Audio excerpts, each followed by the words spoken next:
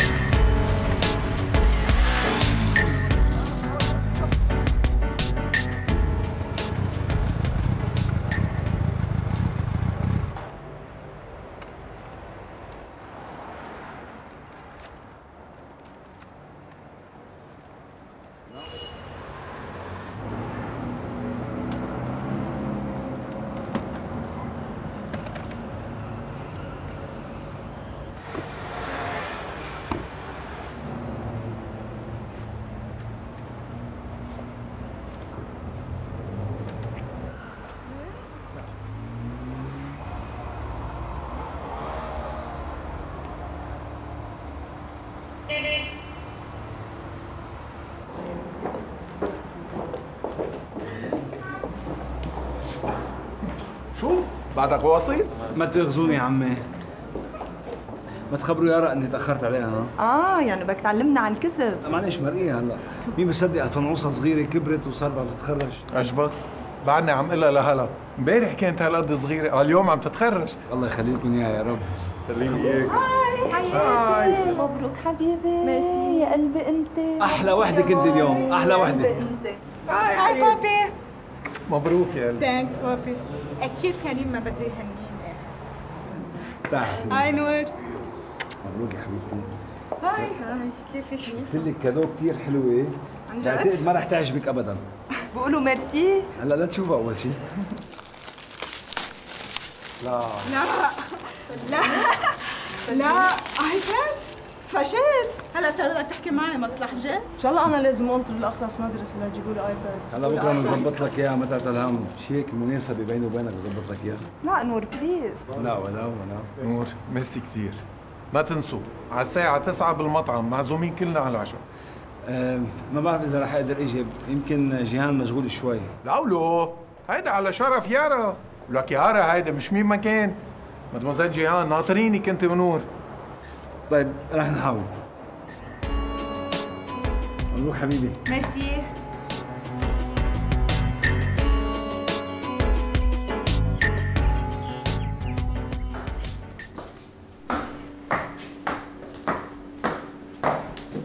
دخلك على الأولاد وين؟ دهروا شوي مع أصحابهم. هلا بلاقوا لنا دغري على المطعم. إن شاء الله يلقوا لنا معقول؟ ما هيدا عشا الست يارا ألو؟ إيه؟ كيفك؟ لك لولو بشرفك. ولك هذا على شرف يارا. طيب يلا باي. شو مين؟ نور عاد جيهان ما قدرت تزمط من عشاء أختها. مضطر يروح معها بتعرف هيدي جيهان مهضومة؟ إن شاء الله يحط عقله براسه ويتجوز. هش هيك دايرة مثل المقطوعين. طيب يا حياتي أنا رح أنزل على السيارة اسبقك إيه الحقيني. إيه. يلا باي.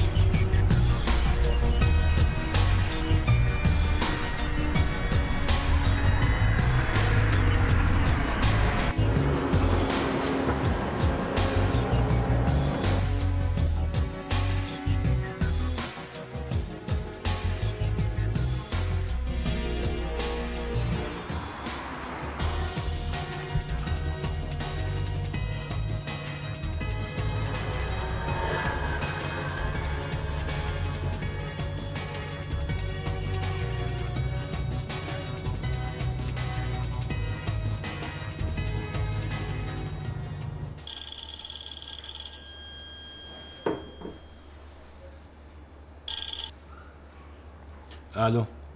أنت لوحدك ولا إجت امبارح لعندك ونامت عندك؟ أنت بتعرفي إني لوحدي. Okay okay. افتح لي البوابة أنا صرت تحت البناية. طيب أوكي يلا.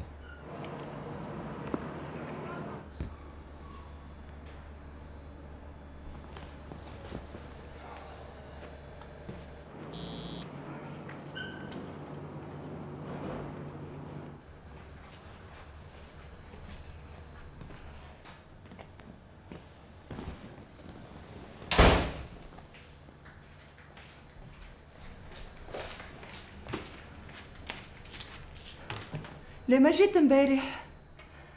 ليه ما تلفنت لي لإلي نور وقلت لي إنك منك جاية؟ نور شو عملت أنت وياها؟ صرتوا؟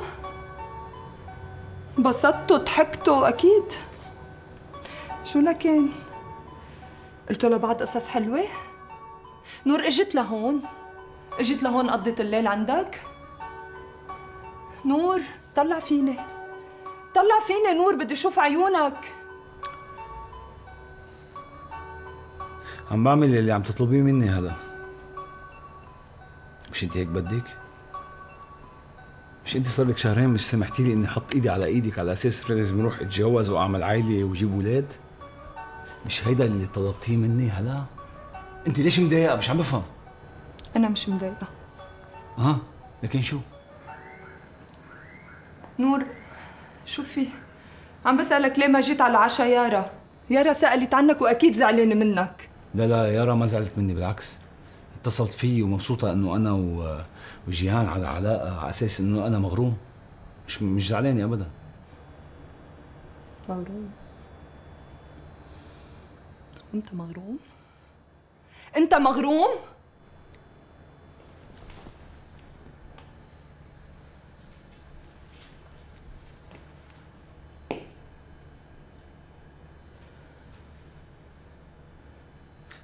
مغروم فيكي انت.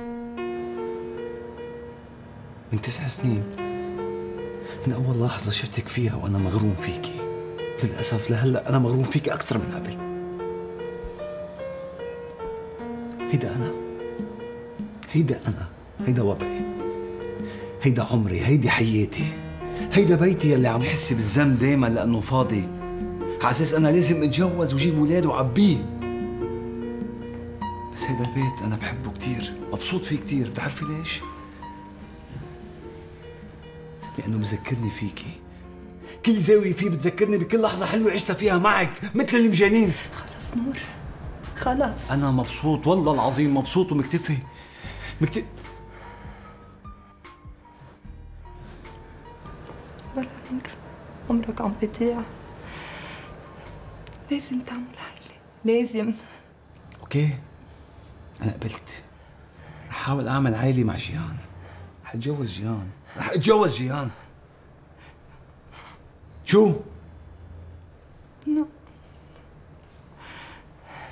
نور نور شو؟ رح أتجوزها جيهان؟ نور شو بك؟ بدك اني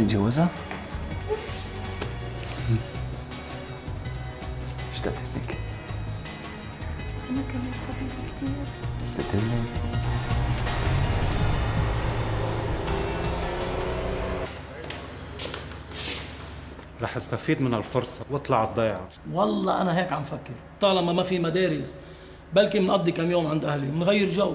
وأنت كميل شو راح تعمل؟ والله أنا عم فكر بشي سفرة. أنا وهلا لحالنا. يا أيوه حسين عن جديد يعني. أعوذ بالله. أعوذ بالله؟ لهالدرجة؟ إنه هلا أنا عم بعرض عليكي شي كتير حلو. كل مرة بتتمنى تسافر هي وجوزها يومين ثلاثة تعمل سياحة وشوبينج. بس أنا ما بترك ولادي وبروح مطرح. طيب ناخدهم معنا. هيك هيك ما في مدارس. بشرفك كميل. كل مرة بدك ترجع لنفس المواضيع اللي بتسبب لنا مشاكل. هو موضوع واحد هلا. أنا وياك صرنا كتير بعيد عن بعضنا. من زمان كتير. وهيدا شي عم يزعجني. أنا هيك كميل. أنا هيك. يا عمي حلك تتعود علي. كل هالتفاصيل هيدي ما بتهمني. بس يا هلا. بس شو؟ ناقصك شي؟ في شي عم بقصر فيه؟ مش عم بقوم بكل واجباتي معك ومع الولاد؟ أنا ما بدي واجبات يا علينا كميل خليك قاعد أنا قايمه نام.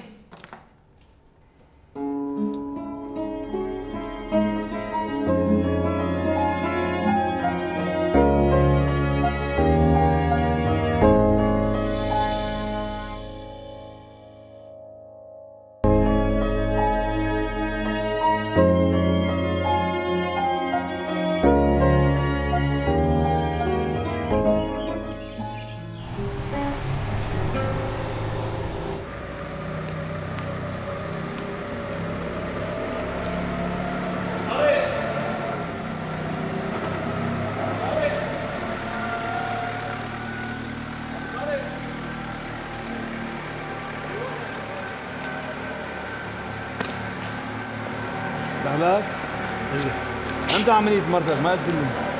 صرت أقول لك؟ 100 مرة يا أستاذ بعد ثلاث أيام. آه عم بنسى ما تأخذني.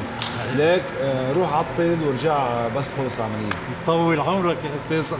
الله- يفرحنا فيك. بس ليك على شرط بتجيب معك بقلاوة ها إن شاء الله بنوزع بقلاوة بيوم فرحك يا أستاذ.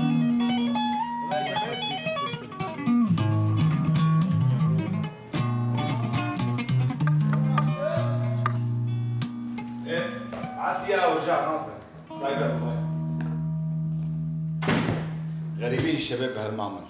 كل ما فتوا ظهرت نفرح منك يا أستاذ نفرح منك يا أستاذ. إنه يا بتجوز وبفرح يا ما في فرح ابدا. كيف؟ إنه بيعتبروا إنه اذا بعرف بعرف شو بيعتبروا دولي نسيلي اعتباراتهم على جنب هلأ. ليكي حتى لو المعمل بكرة ما فرس أنا بدي فرس يومين. بدي أرتاح شوي. شوفي لي شو في مواعيد خلينا نحلها. لحظة لجيب الأجندة. أوكي. حبيبي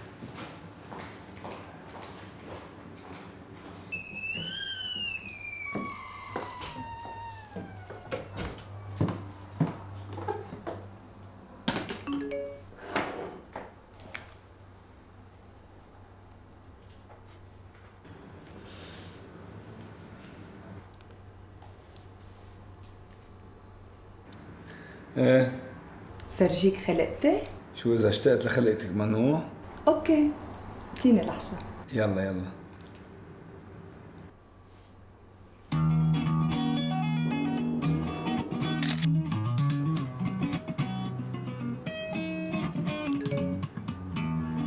جمالك أنا جمالك.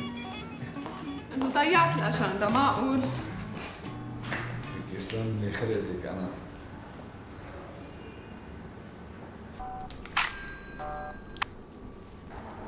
جمالك أنا جمالك. اشتقت لك. إيه وأنا كثير كثير اشتقت لك.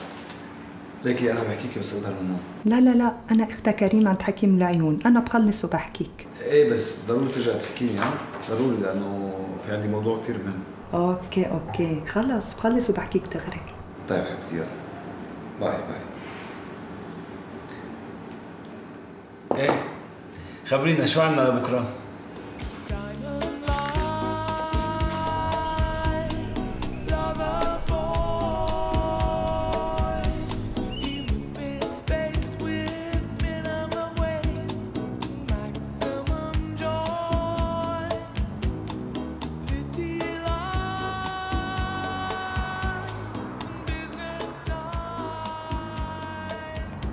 جيهان حبيبتي. إيه بعتذر لأنه اليومين كنت كثير مضغوط. لا لا لا ما تيجي لعندي. أنا بلاقيكي أنا بلاقيكي. إيه أنت وين؟ وين؟ إيه طيب يلا. بعد شوي بيجي لعندك. يلا bye bye.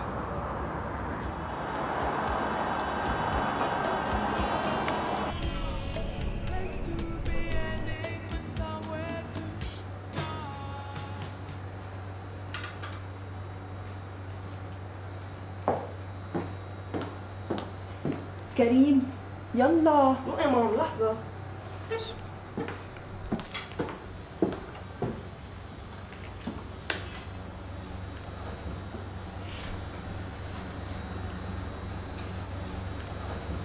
بعدني مع كريم لهلأ بالمحل. شو عم تخترعوا البارود؟ قلي كنت عايزني بشي ضروري. لا إنه بكرة وبعد بكرة ما عندي فرصة فعم فكر كنت بظهر أنا وياك بشي مشوار يعني نكون فيه مع بعض. ما بعرف شي مشروع هيك حلو نقضيه مع بعض فيه. لك ما كميل قال لي لنسافر بس أنا أكيد ما قبلت. إيه عال عال عال إذا حابب يفرس أنا بعرف كيف بحكي معه. وبقنعه كمان ما تعتل هم okay. طيب ليكي ما تطول علي أنا رجعت أتصل فيه. يلا ناطرك حبيبتي bye.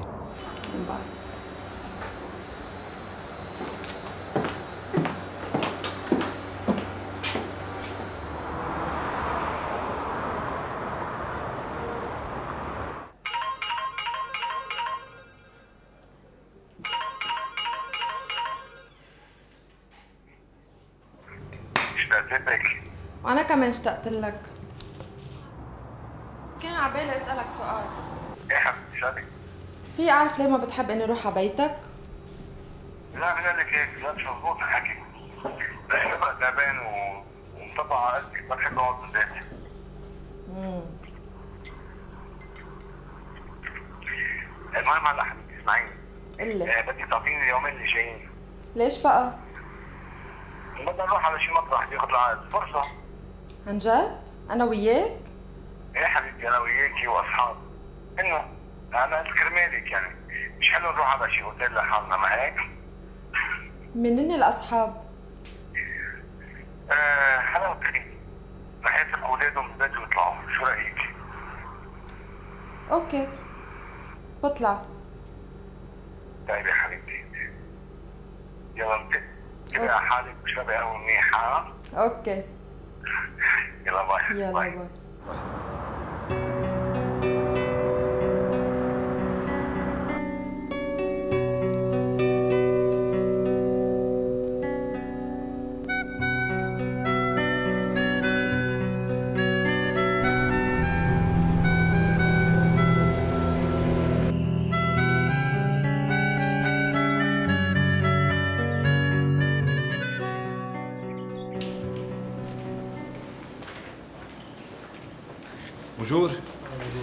اعزمك بدي ثلاث غرف غرفة للمدام والمشيو غرفة للدوموزيل وغرفة لإلي أنا. إيه، بدي اعذبك الغرفة تبعيتها تكون مطلة لأن مرتي هلا بتحب كتير المناظر الحلوة.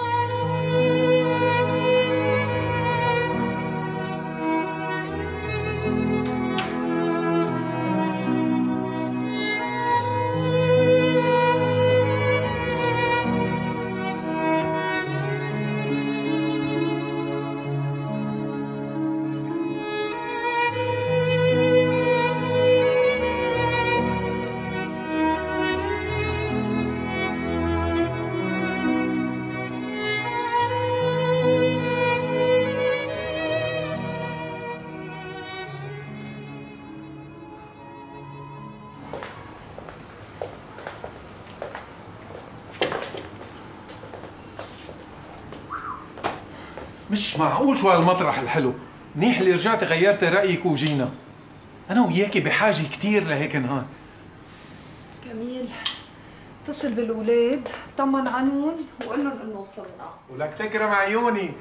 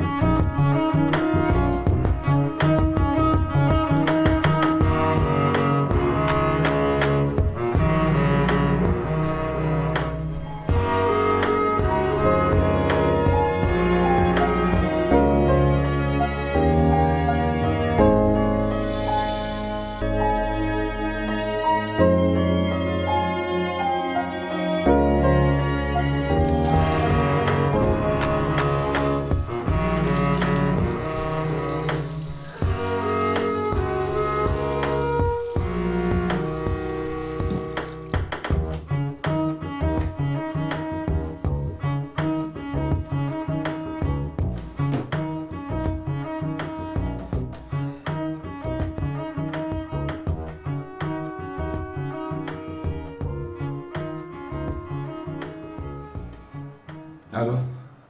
ألو. إيه حبيبتي شو لبستي بيجامتك؟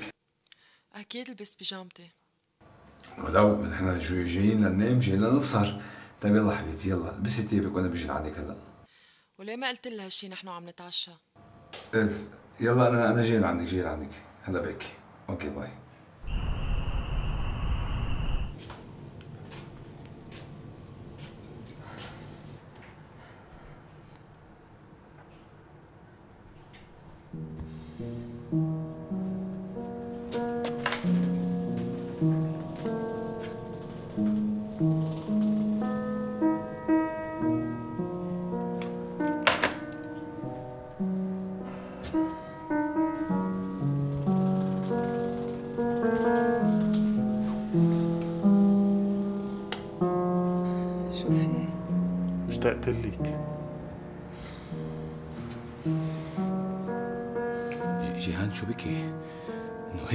هيك كيف عم تسأليني هيك وكأنه أنت عم تتهميني؟ ابدا. عم بسألك سؤال ناطر الجواب سؤال كتير بسيط. ليه لما كنا كلنا سوا ما قلت لي قدام الكل ما تشلح تيابك بدنا نسهر؟ ما خطر ببالي. ما خطر ببالك قبل إنه لازم نسهر؟ خطر ببالك إنه لازم ننام كل واحد بأوضة ونرجع بكرة نقوم ونتجمع ونبلش بنهار كلنا سوا. هيدا اللي خطر ببالك؟ بدك ياني صدق يلي عم تقوله نور؟ لا نور. لا حبيبي. انت ما قلت لي لأنه هلا ما كانت عم تفارقنا ولا ثانية. ما كان بدك تقلي قدامها. كرمال ما تجرحها. كرمال ما تتخانقوا. جيهان شو عم تحكي؟ شو قصدك؟ شرفك نور. أنا مني ولد صغير. انتو مغرومين ببعضكم وهيدا شي واضح. مش عم بفهم جوزها كيف قبلان بهالوضع.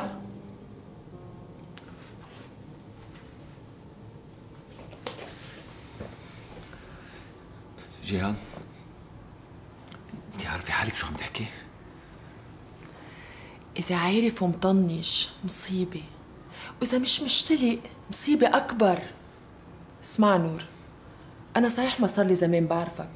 وصحيح إني انجذبت لك من أول مرة شفتك فيها.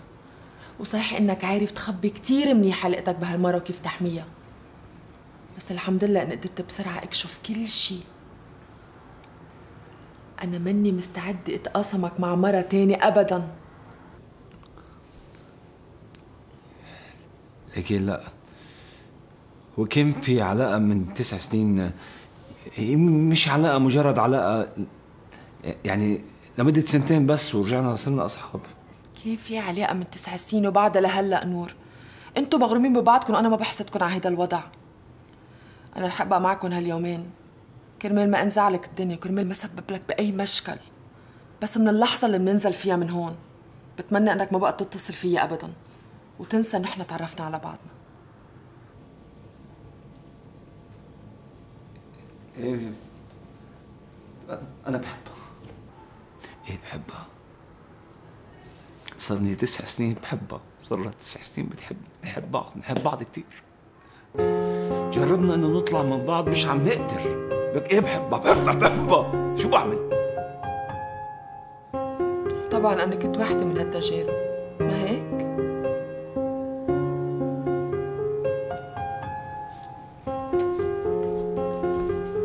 اتركني إذا بتريد. بدي نام.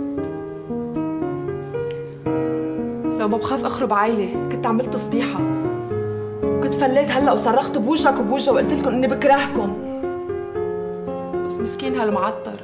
اللي نايم بتخت مع مرة بتفكر برجال غيره. مساكين هالولاد اللي ما خصهم بشي. اتركني إذا بتريد.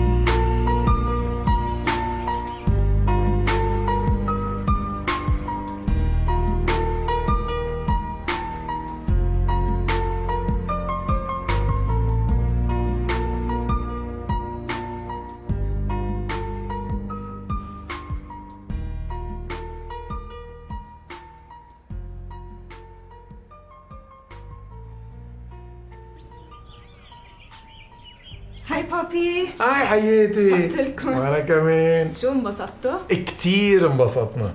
إيه نحن التيتا جابت لنا آخرتنا. هي آخر مرة بس تروح على مطرح بتجيبوها لهون. أنا وكريم صرنا قد ترنات مش ناقصنا من يوم. طرنا. طرنا.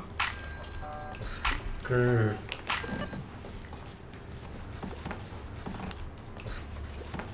ألو. ريما إيه حبيبتي كيفك؟ هلا حياتي.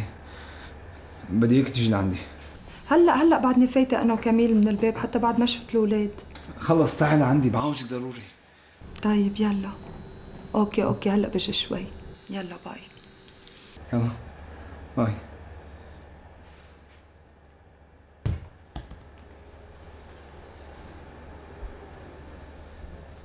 هيدي ريما.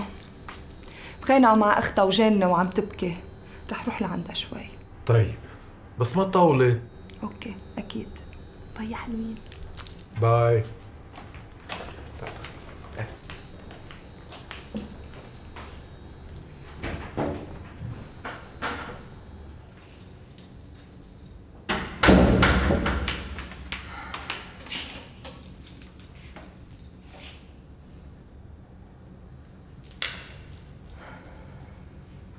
إيه ريما انت تخانقتي مع أختك اسمعيني أنت تخانقتي مع أختك وعم تبكي كثير وأنا جيت لعندك شوي فاهمة؟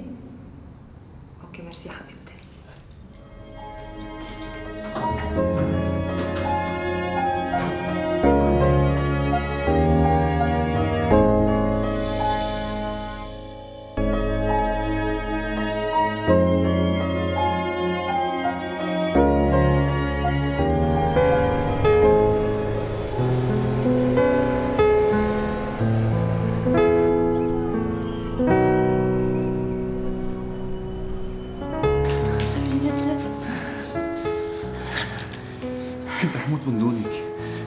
اياهم كله يفلوا يبقى أنا وياك لوحد أنت ولا أنا؟ نور أنا ما بقى فيي ما بقى فيي اشوفك مع حدا غيري please حبيبي please ما تحطني بقى بهالمواقف. عادي. امبارح امبارح كنت رح أقتله لكميل. مش قادرة أتحمل كنت رح أنفضح. أنت كنت رح تنفضحي؟ يا أنا انفضحت. شو؟ جيهان عرفت باللي بيني وبينك. ما تعتلي هم. بس آه، قالت لي ما بقى لا تتصل فيه ولا تحكي معي. طب معقول هلا تحكي معقول تفضحنا جيهان؟ لا لا لا فلت فلت بس حست قديش أنا بحبك قديش أنا مريت فيكي شو قالت لك؟ قالت لي أنا مجنون مجنون بمين؟ فيكي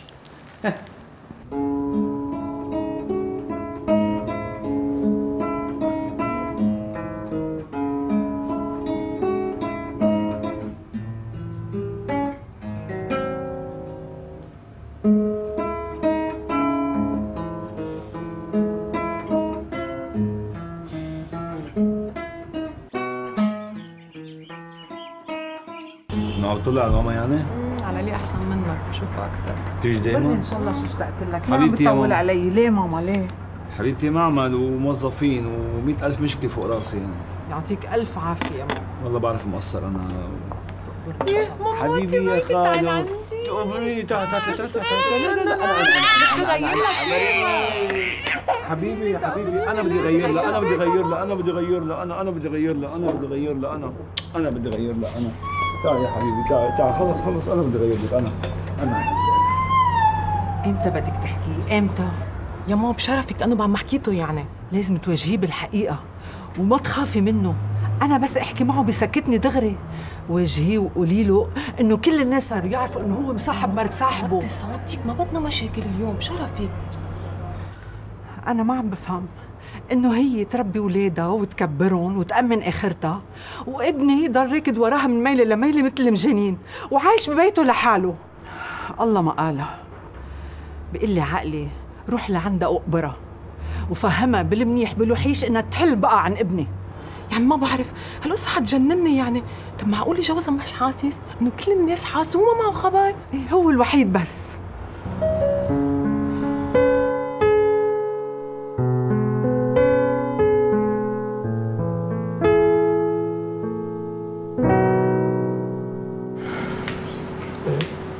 مش حاسس. يعني كيف بده يحس؟ معقول يكون حاسس ومش عم بيقول؟ بس لا. أنا بعرفه. كميل ما بيخطر بباله هيك شيء ليش هالقد متأكدة؟ لأنه أنا بعرف. أنا بعرفه لكميل ولا ممكن. هو كميل عادة مش حمار هلا. يعني أنت اللي عم تحكيني هيك اليوم. كميل قايل لك شيء عن جديد؟ قولي لي إذا بتعرفي شيء قولي لي. لا أكيد لا بس أنا خايفة. ولاد هالأيام شياطين. إنه إذا كميل على نياته ممكن ولاد يحسوا على شيء بتعرفي أنت شو عم بتقولي؟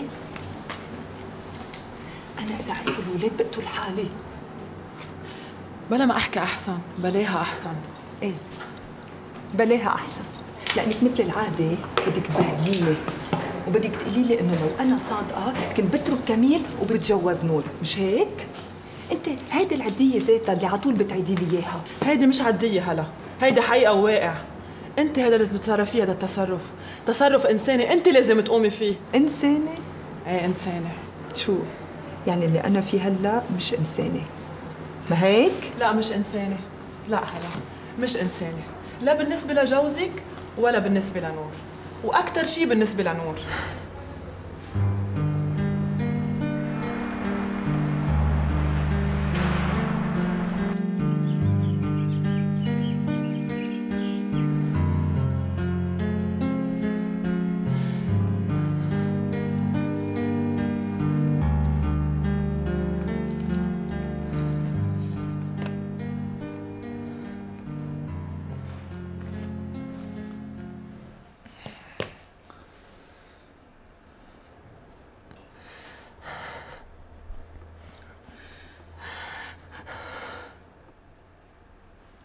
صار لي ساعة عم بسألك ليش عم تبكي مش عم تجاوبيني؟ يا عمي ليش عم تبكي؟ يا حبيبتي أنا عامل معك شيء عمي أنا بضايقك بشيء بضايقك بشيء بضايقك بشيء جاوبيني طيب. مش عم بقدر نور. مش عم بقدر أتركك حبيبي. مش عم بقدر. تتركيني؟ إنه بدك تتركيني؟ وعم تبكي لأنه ما فيك تتركيني؟ مش عم بفهم عليك شو قصدك يعني. ما هو ما فيك تكمل هيك. ما فيك تبقى هيك ناطرني كل العمر. انت كمان بحق لك تتجوز بحق لك تجيب أولاد بحق لك تعيش حياة طبيعية مع مرة طبيعية. تظهر انت وياها قدام كل العالم مثل كل أصحابك بيعملوا. يا حبيبتي صرنا 100 مرة حكيم بهالقصة مليون مرة صرت قايل لك يا عمي أنا ما بقدر أتركك. يا عمي أنا بحبك أنا بحبك. كل يوم بحبك أكثر من يوم. أنا يا بدي أتجوزك أنت يا ما بدي حدا. يا بجيب منك أولاد يا ما بدي أولاد بحياتي. بس هيدا مش عدل. إيه يمكن مش عادل يمكن مش طبيعي يمكن مش انساني يمكن مش اخلاقي يمكن شو ما كان. بس هذا الواقع اللي أنا عايش فيه. من تسع سنين لهلأ جربت كذا مرة. وآخر محاولة كان جيهان. خلص. أنا ما بقى بدي أضحك بنت الناس لأني بحبك. ما بقى بدي أتعذب. طب ليش؟ ليش؟ عمي ليش؟ شو حبيبتي؟ ليه انت قادر تضحي هالقد كرمالي؟ وأنا مش قادرة اتجرأ طلق كرمالك. ليه نور؟ ليه؟ هذا السؤال انت بتجاوب عليه مش أنا. أنا أنا عرفت جوابك من زمان. وقبلت فيه. اقتنعت فيه أو لا هذا كله مش مهم. مش هذا الموضوع. بس المهم اني قبلت فيه. مش مزبوط بالأول أنت ما قبلت. إيه يمكن بالأول ما قبلت. جربت بس ما قدرت. ما قدرت. ما قدرت لأني بحبك. ما قدرت لأني بدي أكون معك. ما قدرت لأني جربت وما زبطت معي. بعدين أنا اللي جيت لعندك. أنا اللي جيت لعندك ف ما بحق لي نفرض عليك شروط. نور ولادي كانوا صغار مش قادرة أتركهم. هلأ كبروا.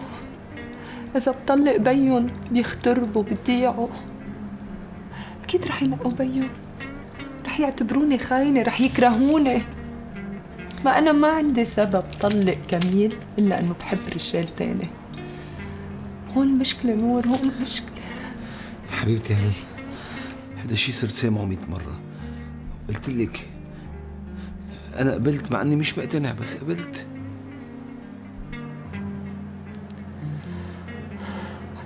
بعدك بتحبني مثل الأول لا ما بحبك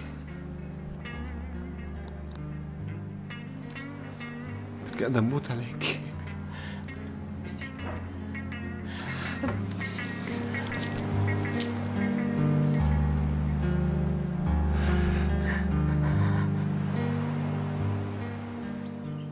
كيفك انطوانيت؟ بجنن كيفك؟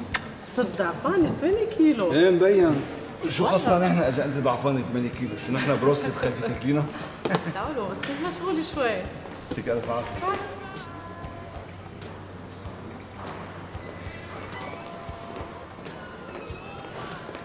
شو ضعفانة؟ شو عم نلعب؟ كيفك؟ منيحة كثير لابقين لي تعي تعي تعي كيفك؟ قعدوا قعدوا خلونا نطلب ونحكي. آه لا عندها حكي الست أنطوانيت. الله يسترنا من حكي الست أنطوانيت. إيه وضعفانة 8 كيلو مش إيه يلا يعني. تفضل خبريني. كريم؟ كريم؟ شو؟ يلا بابي يلا نمشي. وين مام؟ المام جاد عليها شغل. يلا هلا بتلحقنا بس تخلص. طب ليش هيك المام يعني؟ عن جد انه بتضلها مشغولة ومدري شو عندها، ما هي ما بتشتغل دوك يا بابي عندها صاحبتها هلا بس خلص بتلحقنا شو صاحباتها؟ وين هن صاحباتها؟ ريما ومدري مين؟ انه كل ما بدنا نعمل شغله بتطلع هي مشغولة؟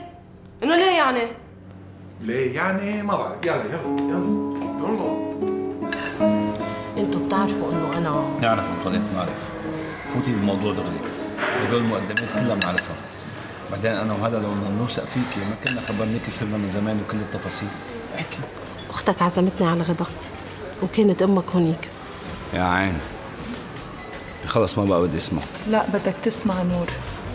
قولي أنطوانيت. حبيبتي هذا الموضوع صرنا حكيين فيه 100 مرة. مزبوط بس لو ما في شي جديد ما كانت جبتنا أنطوانيت لهون لتخبرنا. مزبوط هالمرة حسيت إنه القصة كتير متطورة.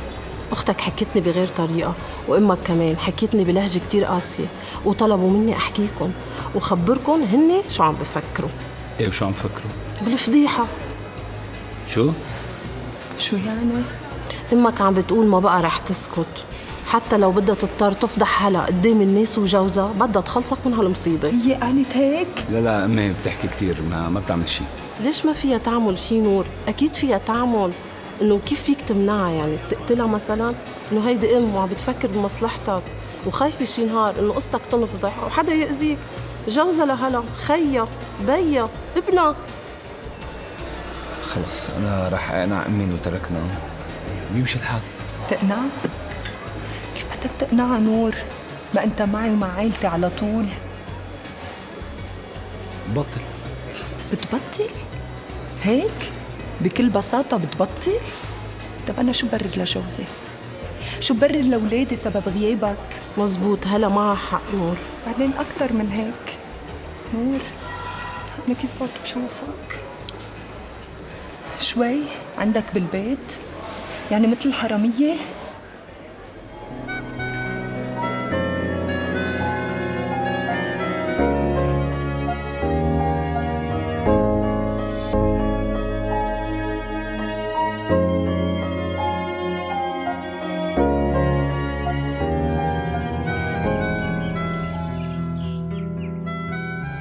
لازم تتجوز نور إذا تجوزت كل هالمشاكل بتنحل.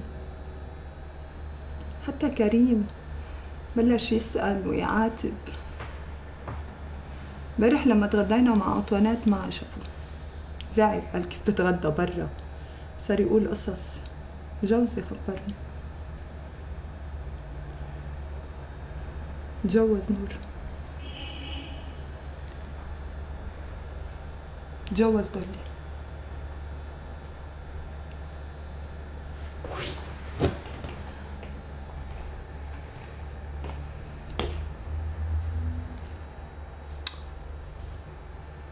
صدق زمان عم تفكر فيها هيدي؟ إيه. من لما سمعت كل العالم عم بيحكوا قد إيه سكرتيرتك مغرومة فيك. إيه بس دولي أصغر مني بكثير وما بتعني لي بشيء كون أحسن. نور أمك معها إذا تجوزت أنت وأنا بنرتاح أكثر عمي أنت عارفة حالك شو عم تحكي؟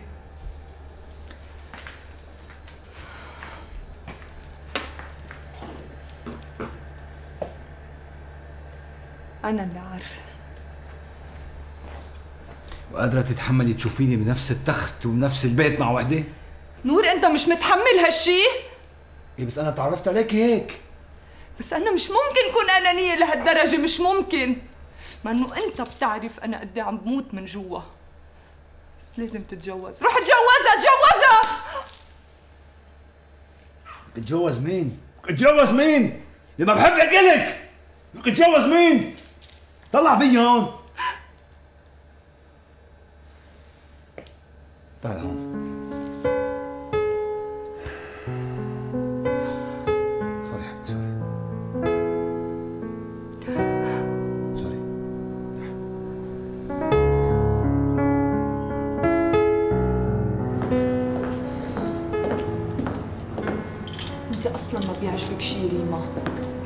شو مستنزه زقف لك على الفكرة الحلوة؟ إنه عم بتزيدوا على ضحايا حبكم وحدة مسكينة اسمها دولي؟ يا عمي هي بتحبه وهو بحبك وجوزك بحبك وأنت بتحبي نور بشرفك هلا خلص مش قادرة أسمع شي بقى مش حرام عليكم؟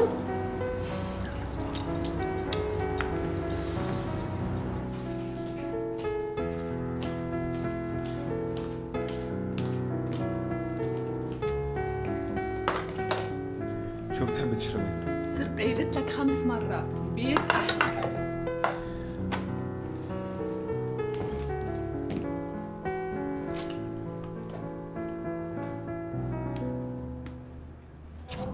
شو؟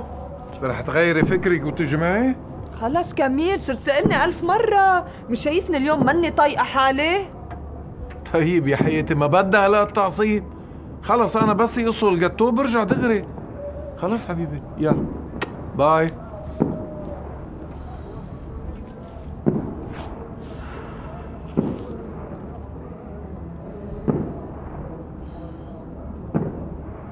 أنا بحب قعدة الأرض بتتضايق؟ لا ما تقعدي على الأرض ليش؟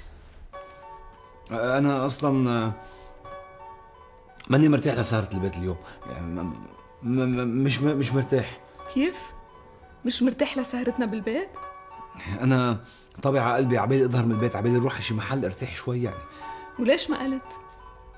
أنت أصريتي إنه وإذا صرنا بالبيت من أول ما بلشنا نطهر أنا وياك بعد ما صرت بيتك ولا مرة إنه حبيت زور بيتك أنت حبيتي بوقت غلط وأنا مضايق شو في نور؟ شو في قلة؟ شو هي المشكلة؟ خبرني إياها لهالمشكلة عن اي مشكلة عم تحكي عن اي مشكلة يلي جواتك انت منك منيح. كنت مرتاح أكتر وقت كنت سكرتيرتك وبس. انت مضطر تخبرني. هيدي اللي كنت تحبها وتبعت لها مساجات واتساب وينها؟ كيف اختفت فجأة؟ ليش افترقتوا؟ شو صار؟ كانت قصة كبيرة وحب كبير. أنا بعرف. أنا عشت هالقصة على شهر. وين هي؟ مين هي؟ ليش تركتها وقررت فجأة تظهر معي؟ ليش؟ إذا بتريدي دولي بتمنى عليكي إنه ما تسأليني شيء عن حياتي الشخصية. كيف يعني ما بدك حدا يحكي بحياتك الشخصية؟ أنت إيدك علي من هلأ وبعدين بس بالماضي ما لك علي ابدا. طبعا. هيدا إذا الماضي كان ماضي. بس لما يكون الماضي بعده حاضر أنا ما بقبل بهالشي. مش مزبوط. هيدي اللي كنت تحبها بعدك بتحبها نور. هالشي واضح. وإذا مفتكر إنه أنا نسيك إياها إيه هيدي مش شغلتي حبيبي.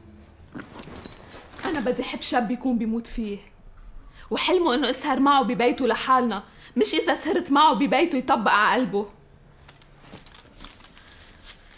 ليك نور خلينا أصحاب وبس وإذا هالشي بيضايقك أنا بقدم استقالتي من الشركة كمان. فكر منيح بقصة الشغل ورد علي خبر. أما بالنسبة لقصتنا فاعتبرها خلصت هلأ. ما بعرف إذا أصلا بلشت لتخلص.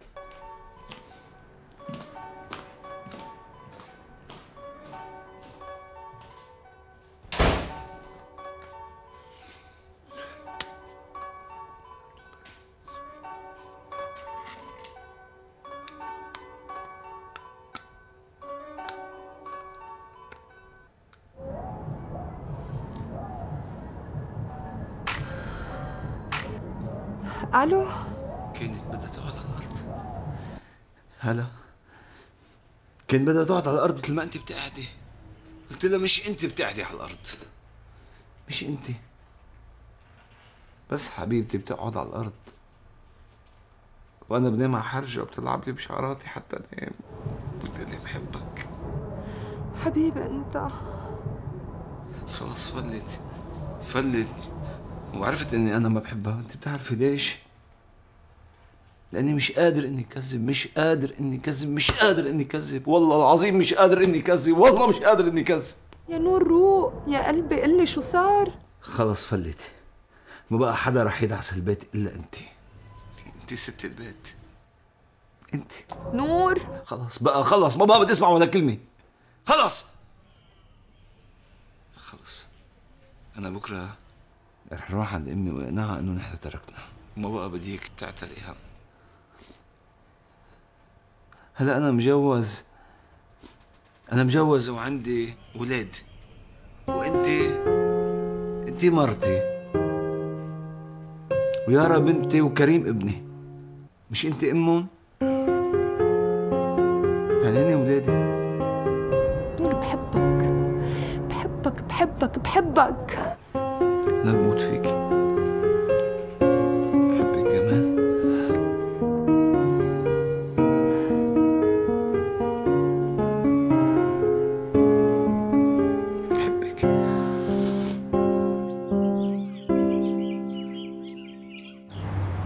عن جد؟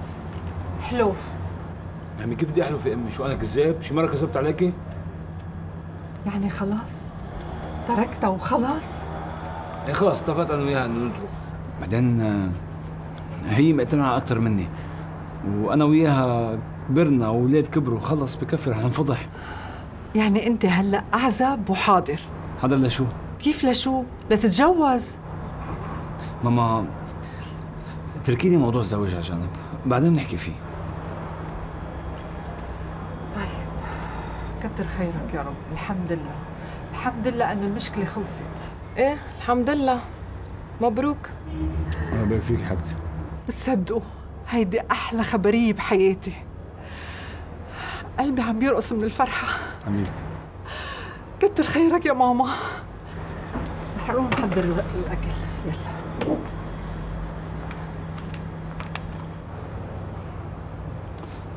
خلص أختي. هلا هي حياتي وعمري وروحي وقلبي هي كل شيء. يا بتجوزها هي يا ما بتجوز حدا بحياتي. خي ما بعرف شو بدي أقول لك بس اللي بعرفه إنه ما عم تكذب على أمك عم تكذب على حالك. أنت حر. تفضل.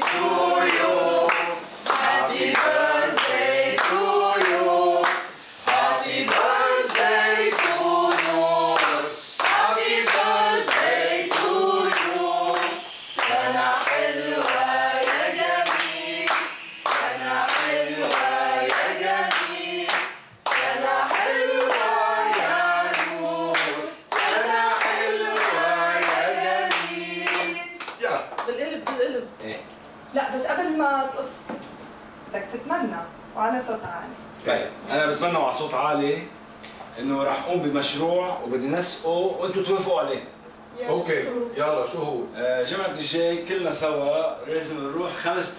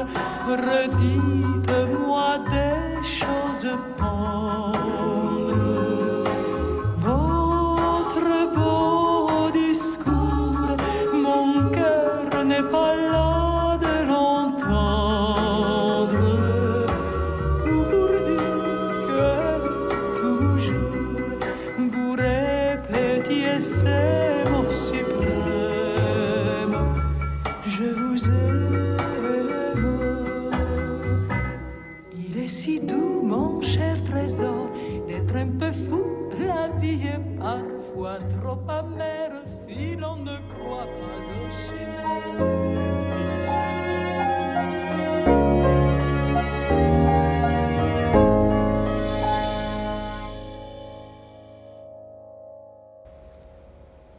من بعد ما تابعنا أعزب دهر رح نتناقش بالموضوع مع ضيوفنا. آه، زياد نجام من بعد ما تابعنا الدراما سوا كيف بتقيم هالقصة؟ وبتعتقد إنه هيدا هو حال المجتمع اليوم؟ أول شيء أنا بقول مش الحياة دراما أنا بقول الزواج دراما. تاني شيء آه، تكلمتي حضرتك بالمقدمة إنه في خيارين. أنا بقول الزواج مش خيار الزواج قصاص ثالث شيء الدراما اللي شفناها هلأ هي دراما درامة البشر. بس هلأ صرنا نسترجي نحكي عنها يعني بالأول كان هيدا حال كل البشر يعني البشر داخلين ببعضهم بس ما كنا نسترجي نحكي عنها بالأول. فبتصور إنه يعني يمكن هيدي دراما بس أنا ما بعدها دراما لأنه بعدها إنه هيدي حال الطبيعة البشرية. إنه إنسان يحب حدا مجوز أو يحب حدا أعزب. يعني هول من 2000 3000 سنة بنحكي عنهم الزواج والعزوبية. بس وقت بلشت الدنيا طبعا ما كان حدا منا هون ليعرف إذا أنا عم بحكي الحق أو الباطل.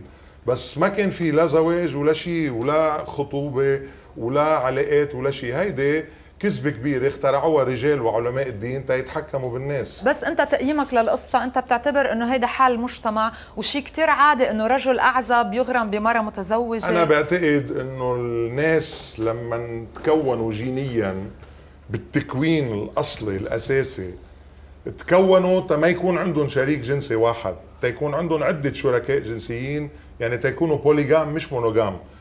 ليش؟ لأنه هيدا سبب من الأسباب يلي بيسمح للبشرية إنه تستمر. يعني هيدي ال mechanism of survival مثل الوجع. الوجع mechanism of survival الألم. في عدة تركيبات تسمح للإنسان إنه يستمر. منها العلاقات الجنسية يلي بتسمح تزاوج الأجساد يلي هي من جنس مختلف. لتستمر البشرية بس قصة العلاقات الزوجية والعلاقات الخطوبية والعلاقات الاجتماعية هي كذبة كبيرة اخترعوها رجال وعلماء الدين ليتحكموا بعقول الناس ونجحوا أنا برأيي. يعني بتعتبر اللي صار بالقصة شيء طبيعي؟ كثير طبيعي وهي طبيعة البشر. دكتور محسن آه، بين أعزب ومتزوج آه، الحياة كلها بتختلف. مين سعيد اليوم أكثر؟ آه، في كتير متزوجين سعيدين وكتير متزوجين غير سعيدين. في كتير شباب وصبايا ما زالوا عازبين وسعيدين. ومنهم غير سعيدين مسألة نسبية وكل واحد خياراته شو. يعني في حدا بيكون غير متزوج وما عنده حتى لو التقى بإحداهن وحبها كتير بيقول من أول الطريق إنه أنا مشروع الزواج هيدا بننساه ولكن أنا بكون مخلص إلك بس دون مسألة الزواج. لأن بيعتبرها. إنه هيدي مثل آه، نهاية ال- نهاية العلاقة الحب. علاقة الحب العلاقة العاطفية. أستاذ اليسر لازم نقدم لك آه، اليوبيل الذهبي على ال 50 سنة. اسم الله صار لك 50 سنة متزوج. بتعيدها؟ إيه. يعني إذا رجعنا 50 سنة لورا نفس الشيء؟ لا بعيدة. لأنه بدي أقول لك الحياة مش حرية. الحياة نظام. وأنا بكتابي عم بقول الحرية هفوة سنين. لأنه الأنظمة بالأرض اللي انخلقت اللي بيآمنوا بنقول نحن الله نظم هذا الكون واللي ما بيآمنوا بنقول هذا الكون له نظام خاص كتير رائع ومش نحن أقوى منه اليوم لما بتطلعي بالمجرات المليارات اللي ماشي بالكون مش ماشي بحرية ماشي بانتظام. نحن بنكذب على الأرض وعملنا حروب كرمال والحرية هي رح تخرب الكون والحرية هي بتقتل الأطفال والحرية هي كل مساوئ الأرض من الحرية. اليوم ال- الكون إذا نحن بدنا نمشي بدنا ننظم حالنا من النظام الشمسي. ما فينا نحن نقول حريين وأنا حر وبيعمل كل شيء في وساخة. فإذا في أنظمة وضمن الأنظمة في نظام بني ما بعرف مين بني إنه مرة بتقعد مع رجال بيتجوزوا. أنا بشوف ناس بيحبوا هالشي مش ضروري. وناس بيعيشوا خمسين ومئة سنة هو وسيدي أو هو. طيب آه، علاقتك شبه مثالية علاقتك الزوجية. آه، كيف قدرت تحقق هالمعادلة تكون عائلة حلوة وتستمر بزواج ناجح؟ هيدي أول شيء الزواج آه، موهبة. المرأة بدها تكون موهوبة للزواج والرجال شرحه. يعني في عنده عارف آه، أشياء كثيره يبقى شاب ولاحق بنات وعم يمشي كذا كذا. ما بتوقف هي بس بيكون عنده آه ليكي في أشياء ما بيقدر يقولها للآخر. في الواحد عنده آه سيستم بعقله. دكتور آه بتنظمه حسب نوبليس تبعه حسب النبالة تبع أفكاره وبصير وهي كمان بتكون ال- البنت بتسائب هيك. طيب يمشي الحال لأنه في ناس لأقل تطليعة ببعضهم بيكونوا بالبيت بيعملوا مشكل صح. فإذا هو بتأكسي عليهم.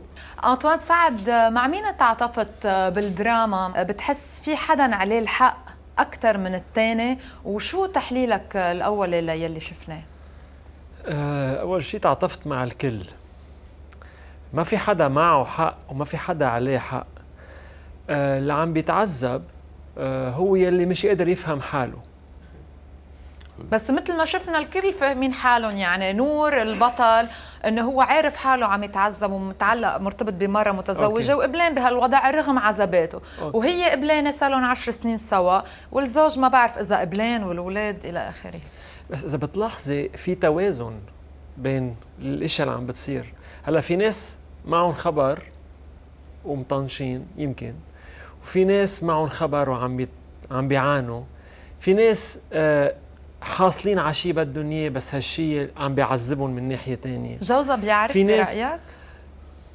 آه ما ما حكيت معه لا لاقدر أفهم بس آه لا كتحليل شخصيته كيف شفنا نحن؟ احتمال الأكبر آه إذا ما بيعرف بوعيه ممكن يكون عارف برات وعيه.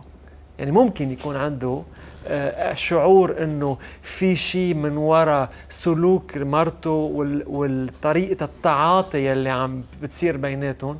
بس بنفس الوقت أوقات نحن بنعمل آه، بنكون عارفين الحقيقة بس بنوقف آه، من وراء الحيط لما نشوفها لأنه بتزعجنا. هي بنسميها نكران.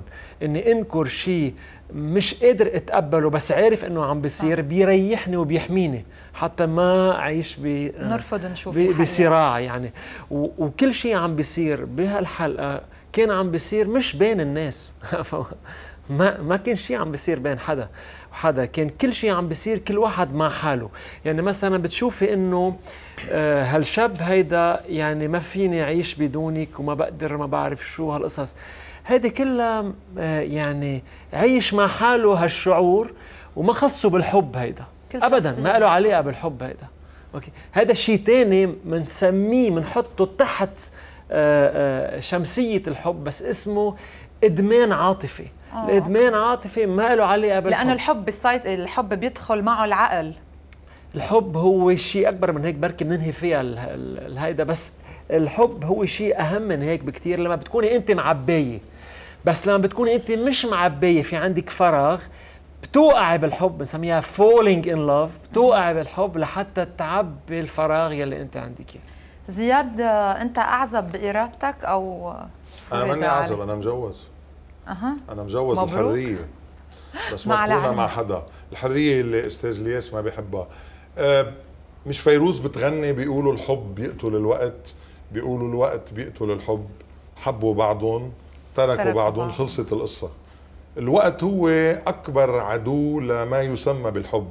وأنا حول الحب عندي سؤالات كثيره يعني نبشت كثير وفكرت كثير وتسمعت كثير وأنا برأيي الوقت هو أكبر عدو للعلاقات بين الناس. آه، هيدا الحب اللي بيحكوا عنه بالكتب واللي خلونا سعيد عقل والاخوين رحباني وأستاذ الياس. نحلم فيه. أنا برأيي منبلش عم نفوت بين الورد ومنخلص عم نفوت بالحيطان.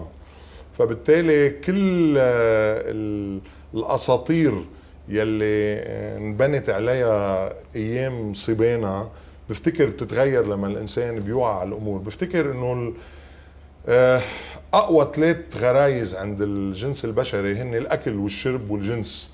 وأنا بعتقد من من المهد للحد ما بيتغيروا بالعكس بيقووا. الإنسان بيأمن استمراريته بيأمن هويته من خلال أكله وشربه وعلاقاته الجنسية وبفتكر إنه بيعمل كل شيء ليخدم هول الغرائز الثلاثه بس أنت أعزب.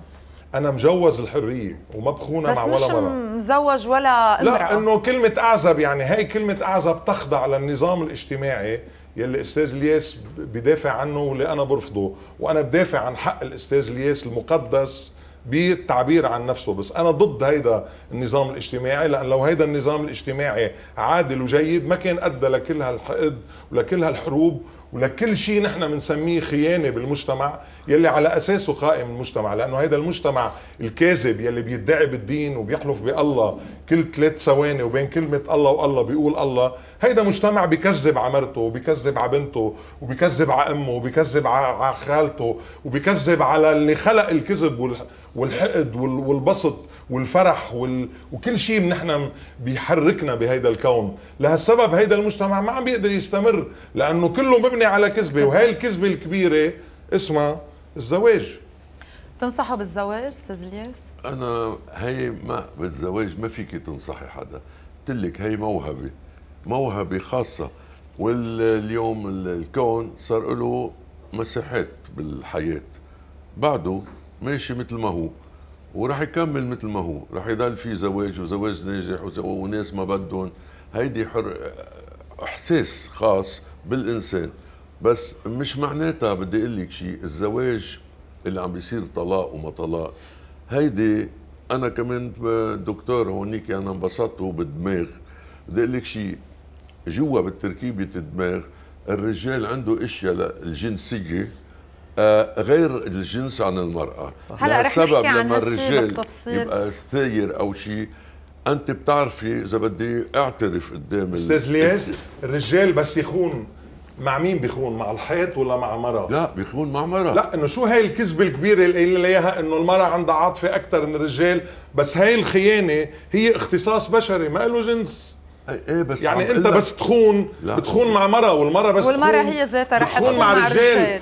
وأنا هون بسجل احترامي للعلاقات من الجنس الواحد. ماني ما عندي يعني ما ماني أخذ موقف استقلالي وفيروز ووديع الصافي وبرودة الجيش انتبه. بس لحظة دك أنطوان سعد شو اللي بيتحكم أكثر بين اثنين؟ الحب أم الجنس؟ أم، شو بيسيطر أكثر على الدماغ. وعقول ال- البشر؟ أكتر, أكتر شيء بالحقيقة آه آه هو الحب أعلى من الجنس. الجنس بقلب الحب مش الحب بقلب الجنس. الحب هو آه، غطاء كل شيء هو أصلا الحاجة الوحيدة الحاجة الوحيدة يلي الإنسان إذا ما اختبرها بحياته ما كأنه عاش. ما كأنه عاش. بس بقيت ما بقى الجنس فيك تحصلي عليه أو ما تحصلي عليه. في يكون عندك آم، آم، عطل جسدي ما بيسمح لك إنك تعملي علاقه جنسية آه، وتعيشي حياتك مبسوطة. يعني صحيح آه، ضمن مثل ما قال زياد ضمن آه، المنظومة الحاجات الغرائزية تبع الإنسان. سيغموند فرويد في أهم من سيغموند فرويد. كان يقول le sexe c'est le moteur de la vie يعني الجنس هو محرك الحياة. كان يقول جملة أخطر من هيك. كان يقول l'anatomie c'est le destin يعني تكوين الإنسان هو ال destinée تبعيته. صحيح. لكن إذا أنا بقيت على مستوى الغريزة طبعا هو محرك كتير كبير المحرك الجنسي لأنه مرتبط بمنظومة هرمونية وعصبية. هيدي كلنا بنعرفها. واستاذ الياس قبل شوي قال إنه آه، عند الرجال بتفرق على مستوى تركيبة الدماغ هرمونيا وشكلا. شكلا الهايبوثالاموس اللي هي منطقة آه، ال- ال- ال- المحرك الموسيقار الكبير يلي بحرك كل المجموعة كل السيمفونية الهرمونية تبع جسم الإنسان بيفرز آه، مادة اسمها تستوستيرون آه، يلي هي مرتبطة بالدافع ال- نحو الرغبة الجنسية عند الرجل أكبر بكثير وهالمنطقة مو- آه، حجمها أربع مرات أكبر عند الذكر من عند الأنثى. دكتور رائد برأيك الحب بيكبر لما ما بيكتمل؟ مثل ما شفنا بالقصة إنه مش مكتمل حبه لأنه هي متزوجة وهو أعزب. يعني يعني إن لم يثمر زواجا بيكبر الحب هو لأنه آه، في شيء مجهول بقى نور بال- بالدراما.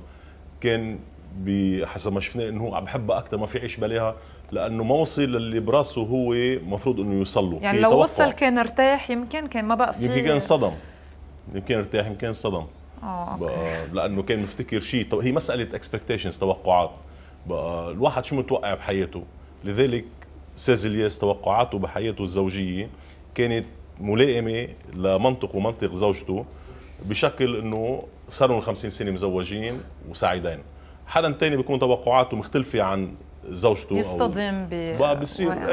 بس- بصير في مشاكل أكثر لأنه حسب واحد شو مصور من قراءاته من المسرحيات اللي حضرها من الأغاني اللي سمعها من الشعر اللي قريه إنه شو هي الزواج يعني فات على على أنا بدي أتزوج وبده تكون العلامة 90 عامية وما فوق أو بدي أتزوج بدها تكون 70 وأنا بدي احافظ على ال 70 وأعملها بعدين 90 عامية. الأغلب بفوتوا بينصدموا لأن بيفتكروا يي افتكرت كل شيء لازم يكون آه، سلس. سهل سموث سيلينج كله تمام. لا ما منا مسألة سهلة. زياد عندك الجرأة تعترف إذا عشت قصة حب مع امرأة متزوجة؟ عامة بتقي إني أعمل علاقات مع نساء يعني. متزوجات بس أكيد استهواني كذا مرة متزوجة مثل كل الرجال. بس المسألة الأساسية هي مسألة الوفاء. في مثل بالفرنسي بيقول لا en amour n'est autre que la paresse de l'instinct يعني الوفاء بالعلاقات الغرامية. ما هن إلا كسل للغريزة الجنسية وأنا أؤمن فيها وأنا بقول إنه هيدي نقطة ضعف الإنسان. يلي ما بتخليه يقدر يستمر واللي بيستمروا بيستمروا أو لأنه ما قادرين يدبروا غير مرة أو لأنه مصلحتهم المادية تقضي إنه يضلوا. بذات البيت ويصرفوا ذات المصروف أو يعيشوا على ظهر الشريك فاصل إعلاني ومن بعده رح نتابع أعزب دهر مع المحور الثاني هل يمكن أن تكون الخيانة مشروعة؟ تابعونا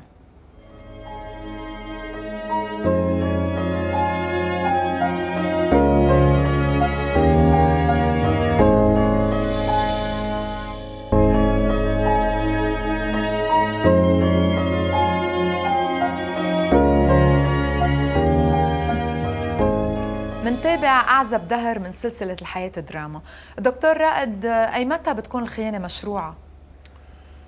الخيانة مشروع يعني خلينا نعرف الخيانة أول شيء إنه ال- في الخيانة الزوجية شفناها بالدراما وفي الخيانة في عدة تعريف لكن خلينا نتفق إنه كل ما يبقيه أحد الزوجين سرا عن قصد عن الشريك هو بيكون خيانة. مثل ما شفنا بالقصة آه، مثل ما مثلا مثل ما شفنا بالقصة. هلأ هون كمان صارت مسألة إنه آه، من حيث من موقف أخلاقي من الخيانة إنه الخيانة خيانة ما معقول تكون ولا مرة مشروعة. بس مرة كنت على آه، ببرنامج تلفزيوني وكنت عم باخذ اتصالات آه، على الهواء وإحدى ال- المتصلات قالت أنا لأسباب وعدة الأسباب المادية وغير المادية والعائلية يعني بالفعل ما في مجال تعطيها ولا نصيحة كيف تطلع من الحالة الزواجية اللي هي فيها. قالت هل الشريك اللي عندي هو متنفسي الوحيد قالت هذا الأكسجين تبعي ساعتين بالاسبوع طيب تحية تستمر كي تستمر تكون أم بدها عاطفة. يعني هي تلتت مثل ما نقول بالدارج وحتى بطل فيها تكون تكون أم لاولادها عم بتقول إنه هالعلاقة مع هالشخص هيدي ساعتين بالاسبوع بتخليني أستمر على الأقل بدوري كأم. هلأ ساعتها مين أنا أو غيري تيجي إلا إنه ما هيدي مشروع أو غير مشروع. لما تقول هيدي تبقيني حية كأقوم بأطفالي مثلا. تعطيها positive energy فاذا كموقف اخلاقي منا مشروعه لكن نجي نطلع بنلاقي إنه بالنظام القاسي اللي حطته المحاكم الشرعية على والمجتمع الذكوري الظالم بحق المرأة خاصة إذا كانت امرأة غير عاملة خارج المنزل. معناتها إنه ما فيها تدفع لمحامي لحتى يحصل لها حقها بالزيارات أو بالحضانة لاولادها لأنه وين بدها تروح؟ يعني مفهوم بس الرجل الموضوع- وين لما تكون عفوا بس لما تفضل. يكون مفهوم الرجل لأنه هي الرجال بينبسطوا فيها. انه وين بدها تروح؟ أهلها ماديا مش قادرين أو. أهلها ضد موقف طلاق مثلا أو بعذبها كثير تخليها تطلق أو كذا. معناتها كأنه عم بيقول لها روحي خونيني غصبا عنك. فاذا وبكون هو إنه الأولاد بحرمها من الأولاد. والمؤسسات الدينية أغلبها داعم بهالموضوع هذا هلأ في في فرق بين آه، آه، نزوة جنسية أو حدا بحب يكون عنده كل شيء. معناتها أنا رجل متزوج أو امرأة متزوجة وبنفس الوقت عجبني رجل و ومش بحسابات الآخرين بحساباتي مكتفية بعلاقتي الزوجية والجنسية من ضمن الزوجية. لكن بنفس الوقت صحح لي إنه يكون معه وما حدا بيعرف فاذا رح روح بالاتجاه الخياني وللرجل أو بعض الرجال كمان نفس الشيء إنه ما حدا بيعرف أو حتى إذا عرفت ما فيها تعمل معي شيء معناتها بدي من المساله ذاتها من الشغلة ذاتها كذا فيرجن بقى مش بس بدي الشقرة بدي الشقرة والسمرة والى آخره ما شو. حتى لو كان عنده اكتفاء جنسي وبال... بال... وعاطفي. وفكري بالعلاقة ممكن إنه نشأته يكون إنه بدي من كل شيء كثير آه الزواج مقبرة الحب؟ نعم. الزواج مقبرة الحب من بعد 50 سنة؟ أنا لا بدي أقول لك شيء الحب مرحلة آه، مستقلة عندها نوبليس كبيرة عندها عندها سمو. قلت لك إذا تفكير المرأة والرجال جايين هيدي بدي أقول لك يا نصيب بالحياة الوتيرة. في هاي لعبة يا نصيب يا نصيب. في ناس لا في ناس هيك.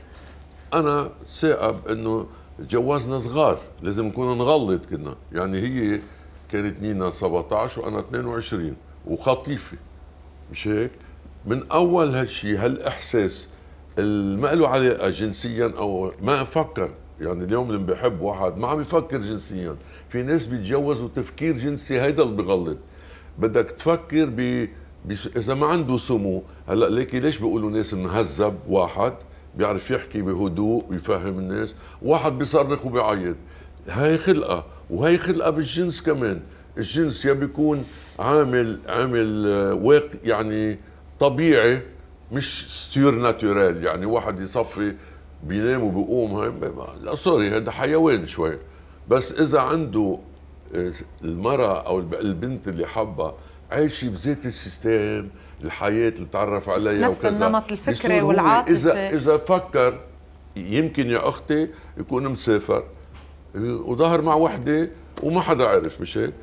بتعرفي إنه إذا إذا مزبوط عايش ومرته بهاللذة المحبة خلينا نسميها غير الحب، الحب عم يفوت معه الجنس. okay. هاي المحبة بتعرفي أوقات بدغري تعذبه بس ضميره. يخلص و... وتخلص لها بيجي على راسه ندم. صغير كبير وكل مرة بتنعاد الشغلة. تقول لك لأنه مش إذا بيعملها إذا بي... وبس يخلص مثلا ما عنده عاطفة لمرته ولا شيء معناتها هيدا زلمة لأنه اسمها نزوة وما فينا. نقول هذا نظام لازم يمشي هذا نظام هيك مثل أنظمة ال- الكون. كلهم كذابين وبيقتلوا العالم. فيني أعلق؟ والمج... لا بس رح رح نعلق بس رح أتوجه بالسؤال لأنطوان سعد. ب 92 الكاتب الأمريكي جون جراي أصدر كتابه Men are from Mars and Women from Venus حسب تركيبه الدماغ الرجل والمرأة. مين بيكون أضعف أو مين بيكون أسير أو عبد للحب أكثر آه، ما في يكون عبد للحب لا هو ولا هي. بيوقع آه، أسرع. الحب بيحرر. إذا كان حب حقيقي بح- بيحرر يعني. ما وبعدين مقبرة مش مقبرة. الحب بالعكس هو ولادة كل لحظة بلحظتها بيخلق فيها الإنسان عن جديد. الحب الحقيقي هذا اللي عم نحكي فيه اللي نادر وجوده. مع الأسف لأنه بده تعالي كتير بده سمو. يعني هول ال- الأشياء يلي بدنا نتحرر منهم من الطابق الأول تبع الدماغ تبعنا يلي هو الدماغ الغرائزي. نطلع على الطابق الثاني يلي هو الدماغ العاطفي ونطلع كمان على الطابق الثالث يلي هو الدماغ الواعي المنطقي يلي بيتوازن مع العاطفة لحتى يقدروا اثنيناتهم يسيطروا على الغريزة. بس يصير في عندك ديناميكية ثلاثية آه، آه، متناغمة ومسيطرة على حالك ساعتها كنت من مارس أو كنت من فينوس بكل الأحوال أنت شخص إذا في عندك سلام داخلي وعندك وعي على ذاتك آه، ما بقى تعيشي بشيء اسمه بدي أهرب من شيء أو بدي حقق شيء. الإنسان عايش بصراع بين هالشغلتين. يا بدي أهرب من شيء مش مش تحمله مش طايقه يا بدي أحصل أو حقق شيء ما عندي إياه. بس إذا بتقولي له آه لحظة رواق شوي. آه خلينا ننتبه أكثر خلينا نعمل فوكس أكثر شو بيصير فيه؟ ساعتها بيعرف إنه آه يلي هو عم يهرب منه مش موجود ويلي هو عم يسعى ليحصل عليه عنده إياه أصلا. طب بالحب مين أضعف؟ الرجال أو مرة بتركيبة الدماغ. الحب الحقيقي بيقوي اثنين إذا كان حب حقيقي والحب المش حقيقي رح سميه الحب ال- الفيك يلي هو آه، آه، تسميته المضبوطة إدمان عاطفي يعني حب لذاتي.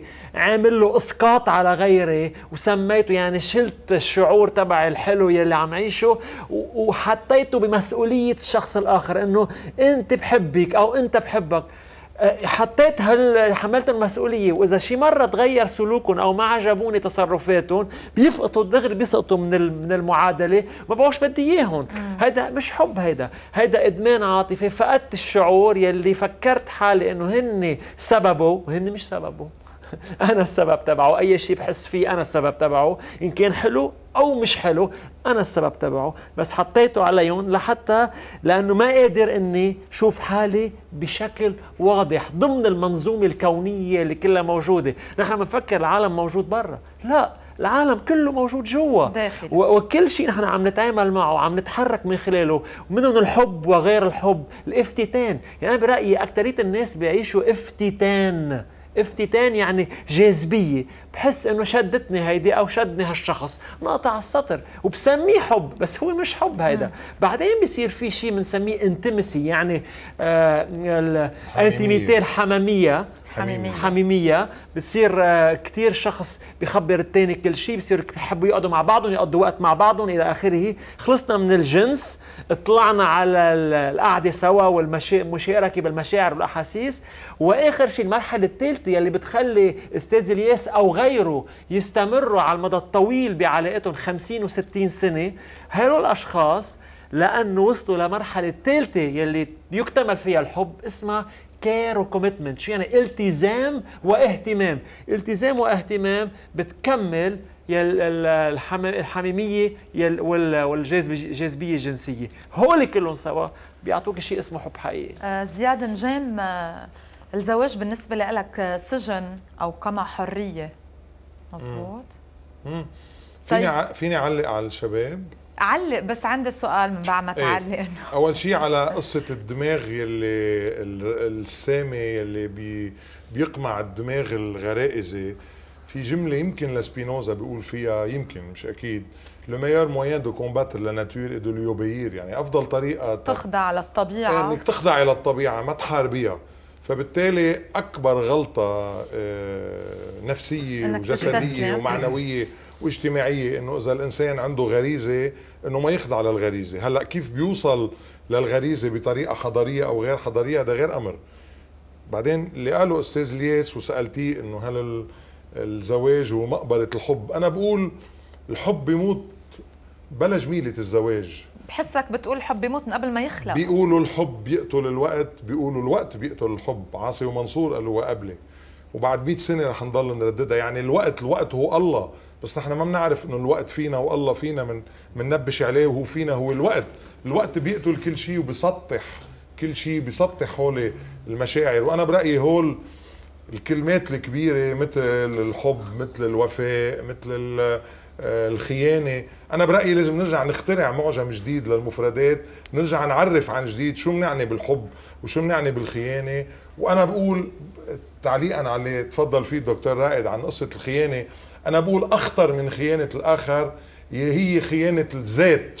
لأنه لما أنا بشعر أني أنا بشتهي أو عندي شهوة نحو امرأة معينة وما بشبع هالنهم أو هالشهوة بكون عم بخون نفسي مش بكون عم بخون شريكي. يعني في خيانة ظاهرة وفي خيانة غير ظاهرة. ولكن هالندم اللي حكيوا عنه كمان الشباب؟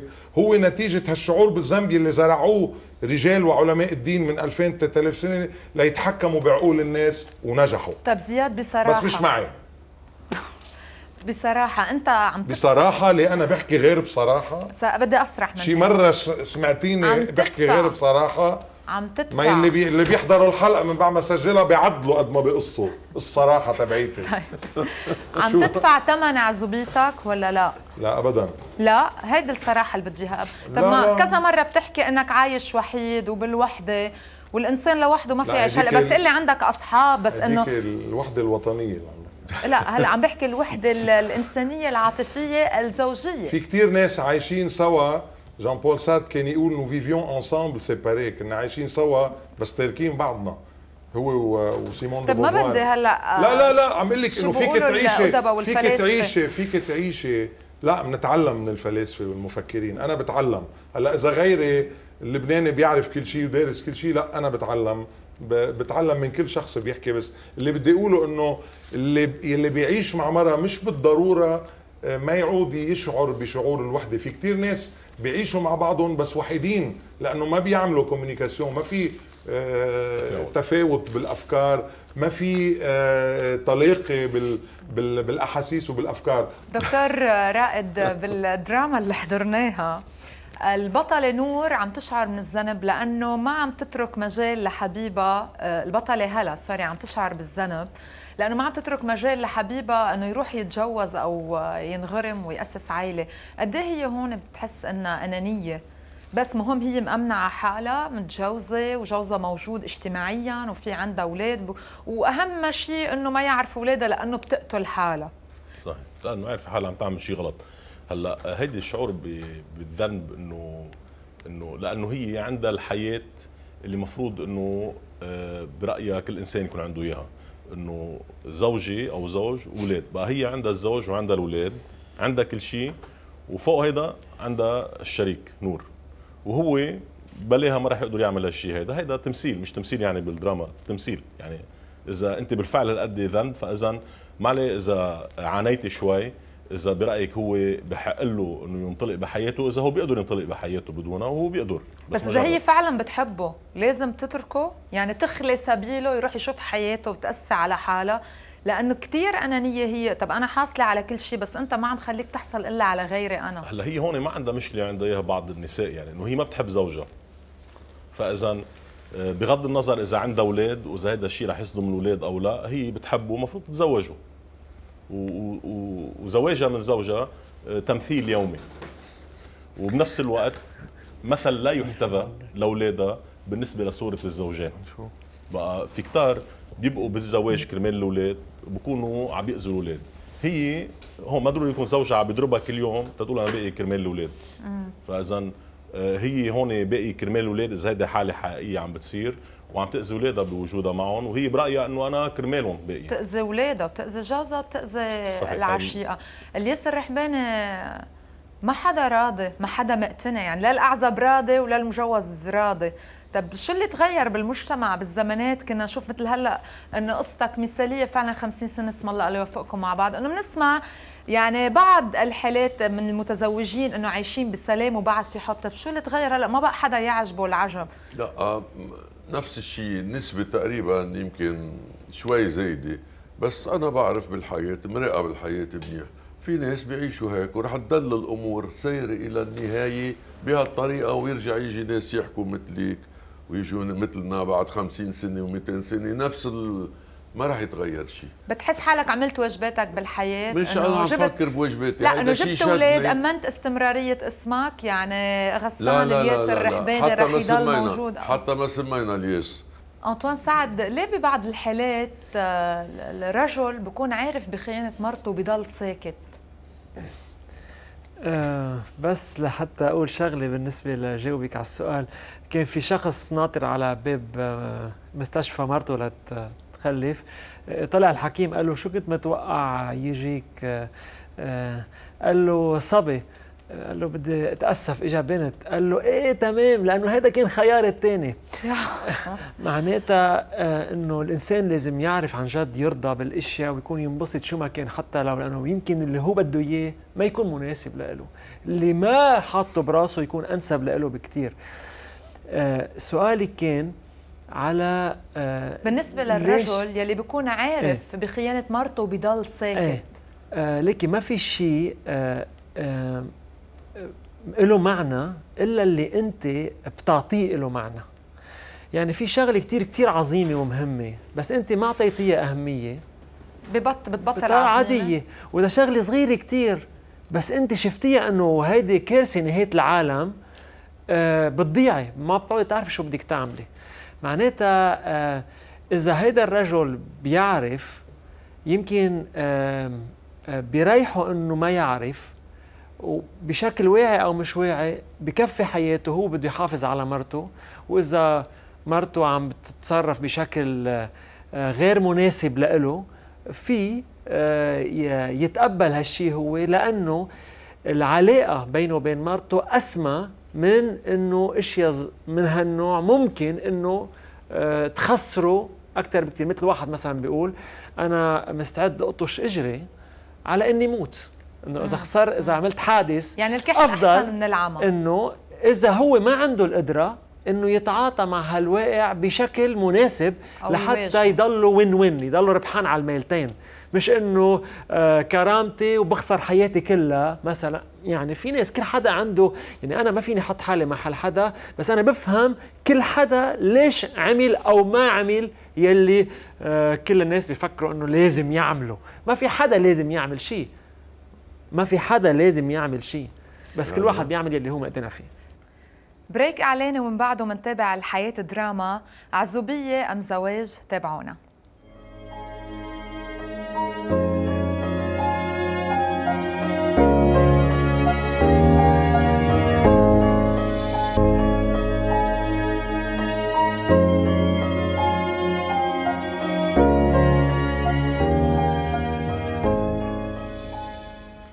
متابعين بالحياة دراما بالمحور الأخير وسؤال جديد لزياد نجيم. الدراما خلصت آه، انتهت مثل ما بلشت. لو أنت كنت محل البطل نور شو كنت عملت؟ محل البطل نور؟ أنا أصلا ما كنت هلا ما رح تكون. أوكي. لا بس ما كنت عملت علاقة مع مع مرة بتقبل برجال بيقبل إنه يكون مخدوع. يعني يعني مرة بتقبل بهيك رجال ساكت. هلأ رجال ليه ساكت؟ ما بعرف. بس بالحب في هالقد تفاصيل أو لأنه ضعيف أو لأنه مش عارف أو لأنه دفتر الشيكات باسم مرته. يعني المصاري هي بتتحكم بكل شيء بال... بالثنائي.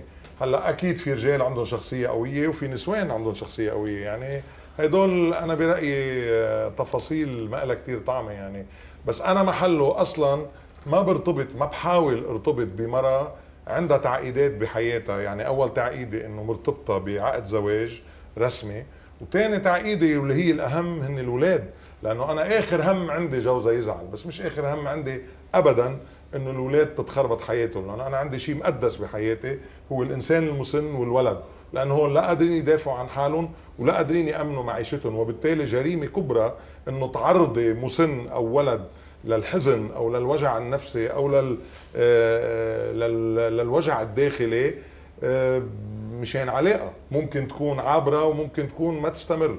وبالتالي أنا أصلا ما كنت عملت علاقة مع هيدي المرأة. أنطوان سعد هل بنفتقد لثقافة معينة لتكوين علاقة متوازنة بين الرجل والمرأة؟ طبعا 100% ما فيك تعملي أي شيء لا علاقة ولا غير علاقة. إذا ما عندك ثقافة ووعي على ذاتك. كيف أنت مركبة؟ شو حاجاتك؟ شو شو آه، آه، رغباتك؟ آه، كيف تتكاملي؟ كيف كيف بتكوني سعيدة بدون ما يكون عندك شخص آخر هو بيأمن لك السعادة؟ يعني هيدي أكبر كذبة أنا بعرفها بيضحك الإنسان فيها على حاله هو إنه يعني السعادة المستوردة. يعني إنه إذا ما كان عندي هالشخص يلي بسمي حالي بحبه معي أنا رح تعيس كل حياتي أو تعيس كل حياتي. هيدي ما بتصير إنه ممكن عاوز الخباز لاكل خبز ممكن عاوز الجراجيست ليظبط لي سيارتي بس بس ما فيني عاوز إنسان آخر والله لأنه آه، سعادتي واقفة على وجوده وتعاستي على غيابه. يعني هيدي هيدي قصة هيدي بتدل على إنه الثقافة العاطفية بالتحقيق بالتحديد ودكتور رائد بعتقد بيوافقني الفكرة لأنه خبير بهالمجال إنه الثقافة العاطفية هي محور أساسي لازم بالمدارس تنعمل لازم يعني يعني حتى بدروس الدين لأنه آه، الارتباط الديني بكل آه، الأديان مبني على ارتباط عاطفي مش على شيء ثاني هلا بعض بعض القناعات البيليفز بنسميها بس يلي منا أساسية مقارنة بالعلاقة العاطفية بين الإنسان والخالق تبعه عبر مؤسسات معينة. بس بكل الأحوال الفكرة الأساسية أنه الثقافة العاطفية هي رقم واحد لحتى الإنسان يقدر يضمن أعلى مستوى من نجاح أي علاقة زواج أو خارج الزواج الياس الرحباني كيف قدرت آه، واجهت أو تحديت الإغراءات يلي واجهتك آه، آه، خلال حياتك الزوجية؟ أكيد نسوان كثير يمكن كانوا حواليك. بغمرهم شوي. غير الغمرة والتبويب غير الغمره كيف تغمرون بس بدنا نشوف حركة الإيد يعني بس. طيب غير الغمرة. بتضل على هالمستوى سبا غير الغمرة الأخوية والبوسات الأخوية. ما هيك؟ أهلا كيف فيك؟ بصحتك إيش الحال؟ هي. هي إيه، ما ولا مرة تخطيت. شو بدك بشغلي؟ شو؟ نحن ما غلطنا قلنا علاقتك شبه مثالية لا أنا إيه لا لا بعد حالي زلمة إذا ليك أنا مرة عم بقول لو لو يسوع تجاوز كان غلط أكثر مني. لأنه أنا زلمه ما غلط وعندي أولاد ومعه الحرب والحروب وضليت محافظ على شيء ثاني على أخلاقيه مع الناس المحبة الثانية اللي هي غير الحب بس الزوجي المحبة تجاه الآخر. وأنا مصر صار لي 40 سنة بحكي عن المحبه لاخواننا الشرق الأوسط المسلمين. وأنا هالمحبة اللي هن عملوا لي إياها من ورا مش لأنه بعمل موسيقى من ورا فكري اللي هو بيخلي الإنسان سعيد وحده يتعلم على سعادة حاله لما بتفرزي محبة للآخر حلو. وعم تحكي صحيح. معه صحيح. بتصفي عندك نور داخلي هيدا لو عندنا حلقة بقول لك عنه خلي يتعلموا الناس وبيلاقوا بس يجربوا رح يلاقوا نفسهم مرتاح إنه عم يحكوا مع الآخرين عم يعطوهم شيء حلو بفكره هو وهو بصير سعيد والآخر بصير يتعلم السعادة مشان هيك لما الحب بينبع منك ما منه مشروط أما إذا بتنتظره من غيرك رح تحط له كثير شروط صحيح. دكتور رائد ليش الخيانة اليوم صارت آه، حالة بطلت استثناء؟ وإذا أنت آه، كنت كاتب هالقصه أو هالحلقة الدرامية كيف كنت بتختمها؟ بالنسبة للشق الأول يعني ما كان منا دائما كان في خيانات. دائما هلأ صار في يمكن آه، صار في تباهي. بالخيانة. تشجيل يعني إيه، بالعرب يعني الدارج. الواحد بجقل إذا يعني ممكن كانت المرأة الزوجه تخون في السابق دون أن أحد يعلم ابدا بتاتا. هلأ بتخبر. بكونوا آه، بدائرة صديقاتها بيعرفوا بيعرفوا بعلاقتهم وبيحموها وبيأمنوا لها لقاء معه وإلى آخره. آه، هلأ كمان نفس الوقت في عدم قناعة أكثر من السابق. يعني نسير نحو تشيء كل شيء بمجتمعنا. فالمادي مجتمعنا بما معناه إنه بدي أفخم سيارة أفخم بيت أفخم إلى آخره. يعني الغيرة والشو نفس ألو... نفس الوقت بدي لا أكتفي بشريك واحد أو شريكة واحدة. مثل ما ذكرت سابقا صارت إنه الطمع عدم الاكتفاء. والواحد ضايع ومجتمعنا عم بضيعنا أكثر فمنا صارت حالي لا صارت ينحكى فيها أكثر دائما في خيانات وكيف بتنهي القصة؟ القصة إنه آه، هلا الزوجة آه، بدها بدها بدها حدا يساعدها بموضوع شو بدك من الحياة شو بدك من زواجك من زوجك وشو بدك من نور. آه، نوع من الإرشاد والتوجيه كونسلنج بدها معالجة للوضع. ونفس الشيء بالنسبة لنور يمكن هو يهيأ له إنه حلمه أن تكون هي زوجته. ويمكن يكون مصدوم بعدين بالنتيجة بتطلع. ف وبيفتكر إنه ما في عيش بلاها ما في حدا ما في عيش بلا حدا. هي تبع إنه ما في في في يقول إنه بكون كثير سعيد ويمكن أسعد إذا كنت معك بس ما في الواحد يقول إنه بلاكي ما ممكن إنه أن أن أستمر. إيه أن أستمر بالحياة أو إنه حتى آه، ما عم يترك لحاله هو جرب هو جرب إنه يطلع مع صبايا اخريات لكن ما جرب ما في يجرب طالما هو علاقة معه.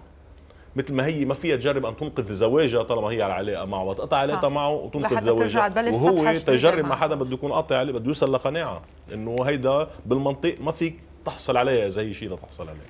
أنطوان سعد شو النصيحة اللي بتعطيها لكل الأشخاص اللي عايشين هيدي الحالة حالة نور وهلا؟